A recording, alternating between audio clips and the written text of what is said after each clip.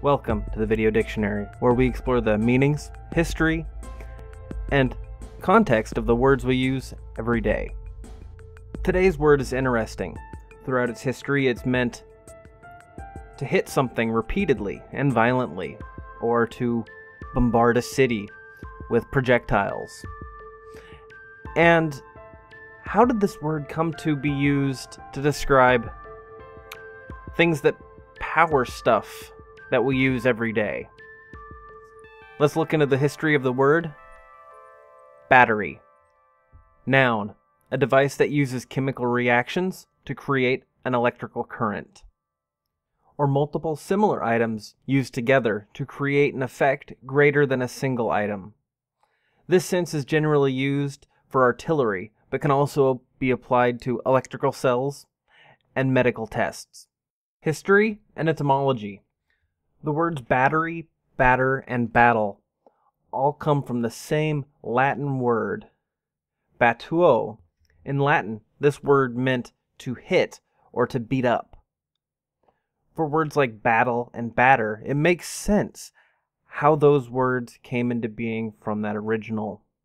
Even in the sense of like brownie batter, it makes sense because the ingredients have been beaten together to form the batter. Well, let's follow the trail from Latin and see where it leads.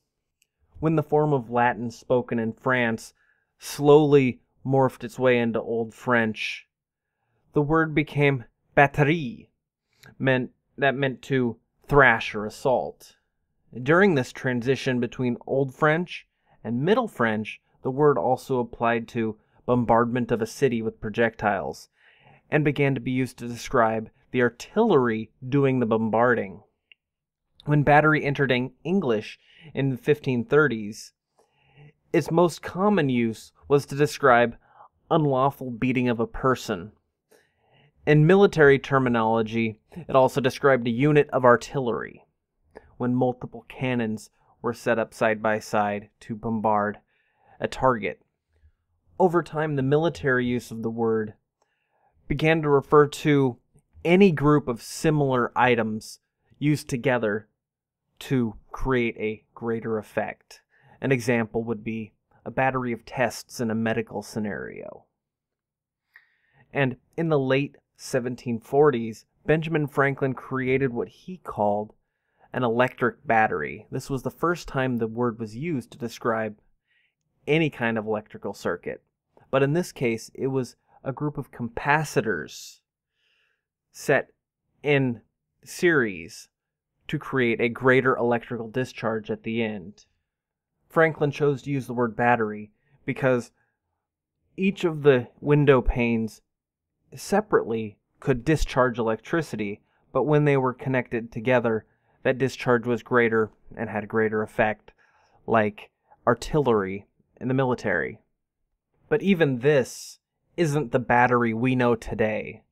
The first battery, in the way that we know it, was created in 1799 by Alessandro Volta when he published his work on the voltaic pile, though at the time and for some time after that, this is still not what we what was called a battery. That word wasn't applied to this.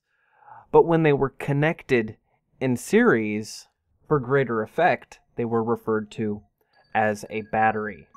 And even in a lot of languages today, a single cell of a battery is referred to as a pile, like in Spanish.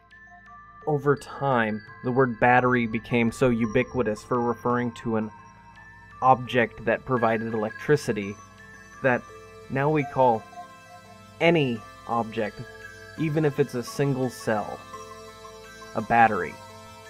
Thank you for watching. I hope you found this entry into my video dictionary at least a little bit interesting. If you did, please leave a like below and subscribe for more explorations of the English language in the future. And don't forget to visit the links down below to find my Patreon, my blog, and other ways you can help support the show. Thank you, and until next time, keep on learning.